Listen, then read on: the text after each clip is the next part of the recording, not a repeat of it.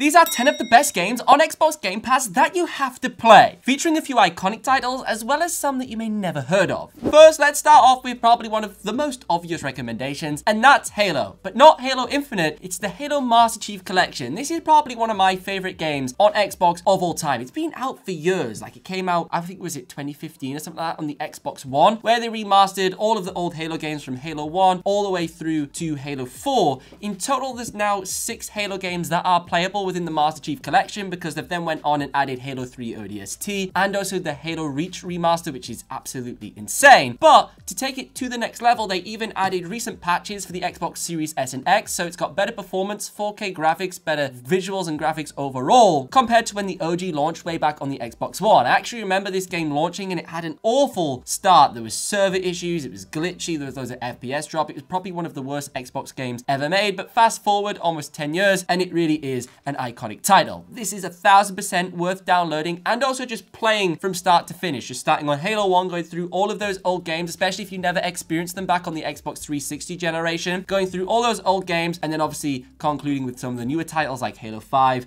and obviously Halo Infinite. Obviously Halo 3, in my opinion, is probably one of the best Halo games ever made, but the Halo 2 remaster in particular is very good inside of this Master Chief collection. It had the most work done to it out of all of the titles. It had a complete new textures, complete new sound design, and also even new cinematic cutscenes for the single player story. Obviously, there's all of the single player stories that you can play through in the Master Chief collection, but there's all of the multiplayer maps that you can play within playlists inside of the matchmaking. Of course, you could just focus all of your time and effort onto the single player story campaigns within these Halo games, but do not forget that there's also all of the maps on multiplayer. You get access to all of the maps in the old games that are now also remastered and reimagined, but inside of playlists. So it's super fun. You can be matchmaking and one minute playing Halo 2, next minute you're playing Halo 3, then you're playing Halo Reach, then you're playing Halo 1. Very nice way of just switching up the overall vibe and mechanics of the gameplay. You can also play all of the single player missions with a friend, either split screen or with online co-op that just makes it so much more fun. Talking about having fun with a friend, next up we've got Ghost Recon Wildlands. This has four player co-op where you and three friends can complete all of the missions inside of this open world game. Now Ghost Recon Wildlands was probably one of my favorite games from the past generation. I personally played it on the PC. There is a newer version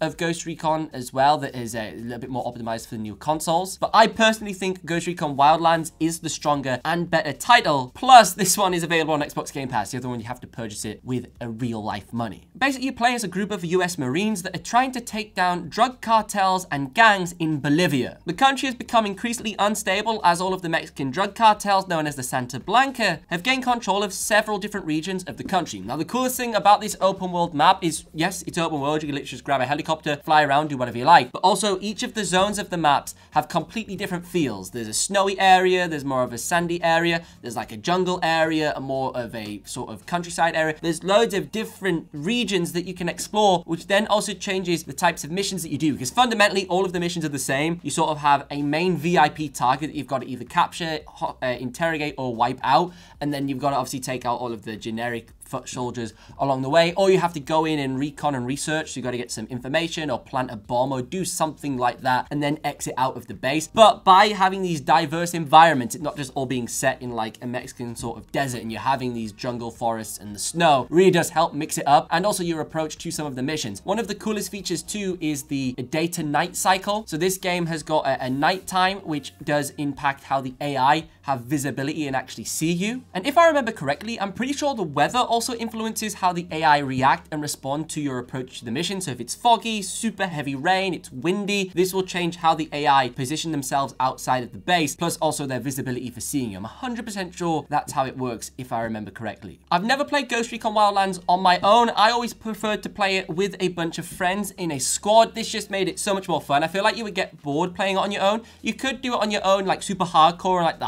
setting, uh, disable all of the HUD elements, so it's just literally you and the world. But I found it just much better with a bunch of friends because you could literally feel like some military marine. You could like communicate and be like, Sniper One, taking him down, man. Moving in. It, it just made it feel so much more like an action movie that you were like living out inside of the game, which I personally found made it much more enjoyable and also hilarious when you were flying around different vehicles, crashing cars, blowing stuff up, and just making mistakes. Next up, we've got a bit more of a chill game, which is LEGO Star Wars Skywalker Saga. Now, how about a year or so ago, there was huge hype over the Lego Star Wars remaster for the complete saga that obviously had all of the uh, prequels and then the main sort of New Hope, Empire Strikes Back era of Star Wars, all remastered for the Xbox Series X and also the PS5. I personally purchased this game back, I think it was in 2022, and really enjoyed reliving some of these missions from my childhood. I did think the original Lego Star Wars Complete Saga was a bit better. Some of the gameplay mechanics had been heavily changed on the remaster, but it was cool to just see it reimagined on a new platform. Now, obviously, that game can sometimes be quite expensive unless you can pick it up in a sale, and fundamentally, you know, it is just a Lego game. It's cool for a few hours here or there, but you're not really going to play it hardcore. If you're a younger viewer, you might do, like when I was a kid, I guess I did play it quite hardcore. But as you get a little bit older, you do fancy a little bit of a Lego game, but for a quick blast for 30 minutes for a like a blast from the past sort of nostalgia. Well, thankfully, there is the Lego Star Wars Skywalker Saga available on Xbox Game Pass that has been updated and refreshed for the Xbox Series S and X. So again, you can expect better performance and it does leverage the power of your console, even though this was released back in 2019 before the next-gen consoles uh, were ever on store shelves. And you can have that childhood fun that you may crave from a Lego game, but obviously for free within your Xbox Game Pass subscription. And it's all of the new movies. Obviously, these are the worst movies because Disney made them,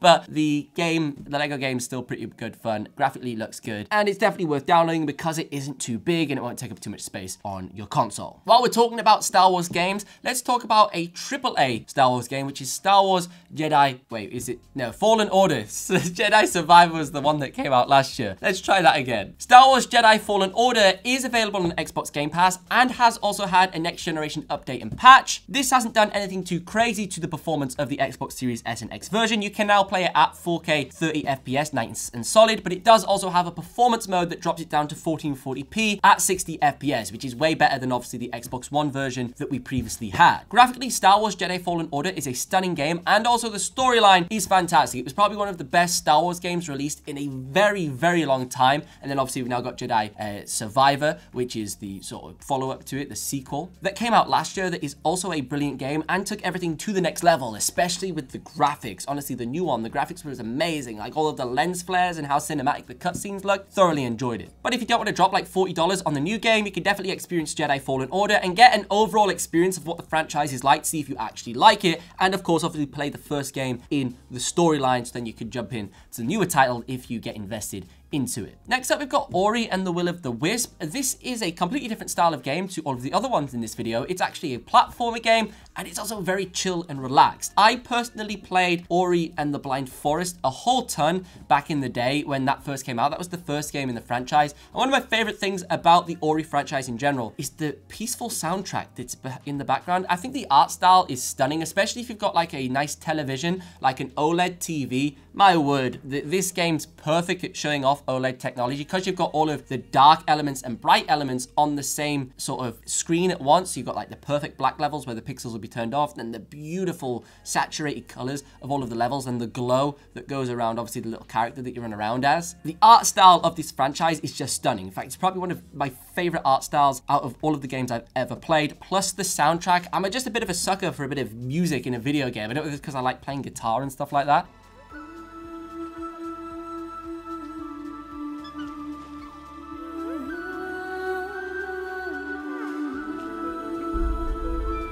Honestly, this is like amazing. It's just perfect. It really does bring you down at the end of a long day. Most games hype you up too much. You know, you jump into a game of Warzone and it doesn't then help you sleep because you're like, oh, oh, mate, oh, one more game, one more game. Whereas Ori and the Blind Forest or Will of the Wisp, whichever one you want to play, they're both on Game Pass, just brings you down at the end of the day. You have a nice little, if you've got a nice soundbar as well or some headphones, enjoy the soundtrack, complete some puzzles. You also have to think a little bit too with your approach to the missions. Like it's not just one of those fast-paced platformers or a bit like Mario Mario where you jump about and avoid a couple things. There is actually a little bit of thought that has to go to completing each of the sort of missions that you're trying to traverse through. And then you can obviously enjoy the storyline. I found the storyline to be quite good. At first, when I played these games, I thought I wasn't really going to be attached too much to the story because you're just this weird little character. But within like the first hour or two of the first game, my word, the storyline was so gripping. I don't think there's ever been a game where I felt so attached to the characters, especially in the platforming genre. Now we're going to have a little bit of a throwback to an Xbox 360 title that has actually been remastered to an extent for the Xbox Series S and X. Now, this is Fallout 3. This is literally the exact same game from the Xbox 360, one of the best games from the Xbox 360 generation. This is available on Xbox Game Pass, but it has had a resolution and FPS update. So even though you're playing the old game that's identical on the Xbox Series S and X, whether you own it on disc or whether you just boot it up through Xbox Game Pass because it is included on there, it now has 4K resolution at 60 FPS. So just literally this increase in resolution, basically from like 720p or whatever it used to run at on the Xbox 360 HD. Know, basically increasing it from there to 4K resolution has brought the overall fidelity of the game up to like it's a next generation game. It looks absolutely fantastic. Then couple that with the increased performance at 60 FPS, it's super stable. The experience is fantastic. And this is like one of the best games of all time, Fallout 3. So you can experience like when gaming was actually super good. On Xbox Game Pass, there is also Fallout New Vegas, which unfortunately hasn't had the same treatment. I think it's had a slight FPS boost, like it runs a little bit better, I think like 45, 60 FPS, but resolution hasn't been bumped up, so graphically it still looks like an Xbox 360 game. They did the same thing for Red Dead Redemption, where they all they did was just increase the resolution and also the FPS that the game ran at, and it literally looked like they remastered the whole game by Rockstar, but it was just the Xbox 360 version now running at 4K, and that increase in fidelity to all of the textures just completely changed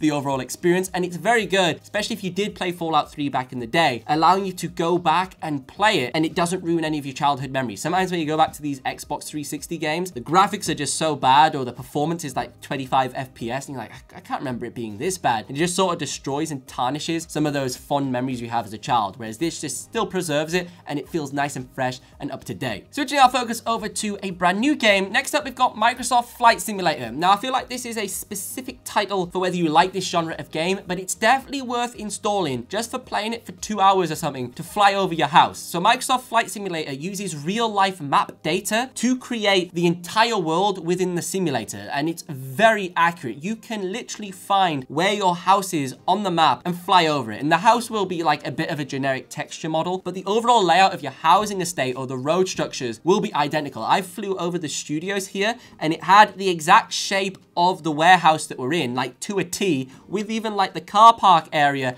and even some rubbish that we had in the car park pit, like some containers and stuff like that. It, it mapped all of that in and it looked like 90% as to what it does in real life. So even if you can't stand simulator games, just for the cool factor of seeing your own house or your local area inside of the video game, I think it's definitely worth checking out. And this alone probably makes it one of the coolest games on Xbox Game Pass. On the topic of favorite things that have ever been made, next up we've got Need for Speed Hot Pursuit Remaster. Now I could put something like Forza Horizon 5, Forza Horizon 4 is one of the best racing games on Xbox Game Pass, but you already know that. I, I hate these game lists that people make and they go, I'm gonna tell you some of the best games, and they're like, Forza Horizon Horizon 5. And you're like, mate, everybody who owns an Xbox has played that game, but not all of them have played Need for Speed Hot Pursuit Remastered. Now, this is another OG game from the Xbox 360 that was probably one of my favorite racing games as a kid. You gotta bear in mind, Forza Horizon only launched towards the end of the Xbox 360. So before that, we only had Forza Motorsports, which was track racing. So the only real free roam racing game was either Test Drive Unlimited 2 or a Need for Speed game. And this is when Need for Speed was actually good before it went rubbish, which was basically on the Xbox One generation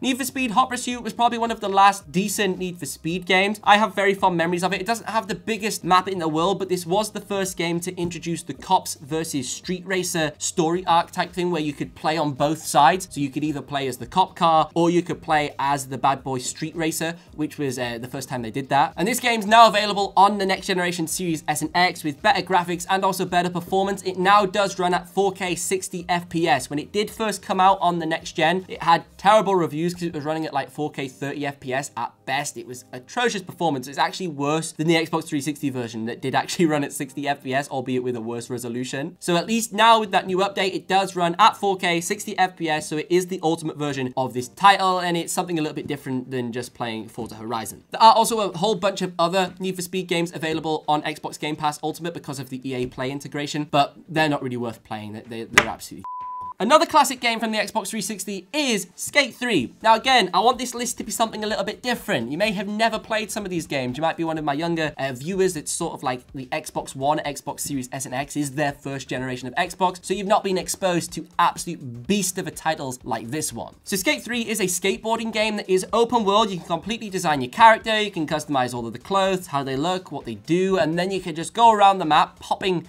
different tricks. It does have a main storyline that you can play through, but you could just literally go around in free mode, leveling up, doing different uh, stick tricks, and just progressing that way. Over the last decade or so, there probably hasn't been a skateboarding game as good as Skate 3. Nothing that's came anywhere near to the caliber of title this is. This was one of my favorite Xbox 360 games as a kid. I pretty much completed the storyline and got very, very far in it. And it's cool that you can now play it on the next generation consoles if you still own the disc or just through Xbox Game Pass. The final game on this list is probably quite controversial within the gaming community, and that is Rainbow Six Siege. Now, some people love this game, like a real hardcore fan of it, and other people just completely hate it, thinking it's just a little bit overrated. Now, I probably sit in the middle of these two opinions, but the reason why I'm impressed by this game is to see how it has leveled up from its initial release back in 2016, I think it was. So I seen that release when I was still at school, and it was a cool little tactical shooter with a couple of maps, you know, nice graphics. It did mostly what it promised from the E3 trailer that me and my friends were absolutely mind blown by. The graphics were amazing. Obviously, the graphics weren't as good when it finally came out. It had a little bit of a rubbish launch, just like every game in 2014, 15, 16 sort of did. But to see it go from that point of mega disappointment to now this quite complete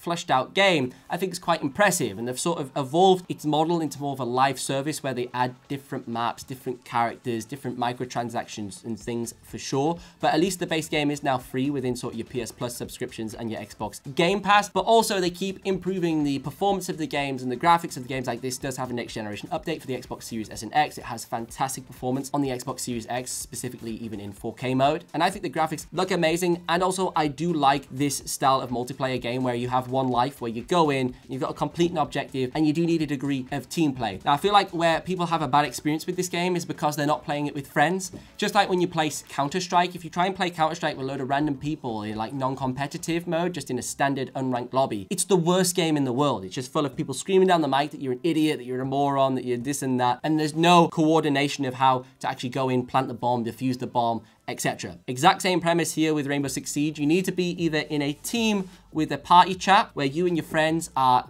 the whole squad, or at least you make up about 50 to 60% of said squad. And you go in, obviously it's 5v5, and you complete all of the objectives. This is where you're going to get the most value out of a game like this, and also truly appreciate this genre of title, and then eventually go into competitive mode to level it up, and then again take it a little bit more seriously. I really like team play games like this. I was always more of a fan of Battlefield than Call of Duty because of the squad-based gameplay those old Battlefield games used to have before they messed it up in 2042, where it didn't matter what class you were, you could just revive everybody. In the day, used to have like a medic, a support, a sniper, etc. And everyone would play their role and you would talk in a chat and then you would dominate all the different objectives. So I've always preferred that more than just running around and slide canceling like an absolute dork. So it depends what your vibe is as to whether you would actually enjoy Rainbow Six Siege, but I think it's a pretty solid AAA title and it's great to see it on Xbox Game Pass. Now, obviously these are 10 of the best games available right now on Xbox Game Pass, but there are hundreds of titles to choose from. So you should check out this video next where I tell you seven more titles that you don't want to miss.